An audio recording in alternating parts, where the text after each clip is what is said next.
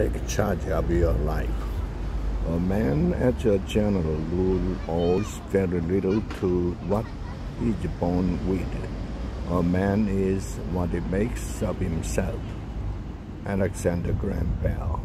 When I was 21, I was broke and living in a small one room apartment in the middle of a very cold winter, working on a construction job during the day. In the evening, I usually couldn't afford to go out of my apartment, where at least it was warm, so I had a lot of time to think.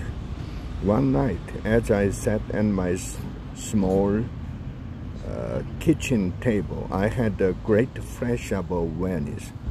It changed my life. I suddenly realized that everything that would happen to me for the rest of my life was going to be up to me. No one else was ever going to help me. No one was coming to the rescue.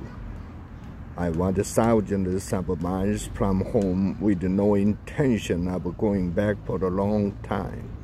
I saw clearly at the moment that if anything in my life were going to change, it would have to begin with me.